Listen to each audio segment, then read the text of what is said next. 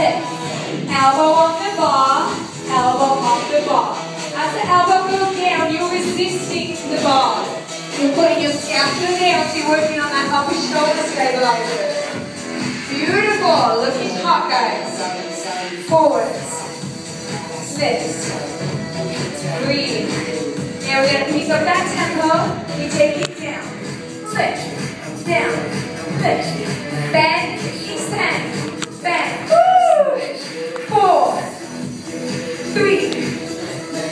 two, one more, hold it.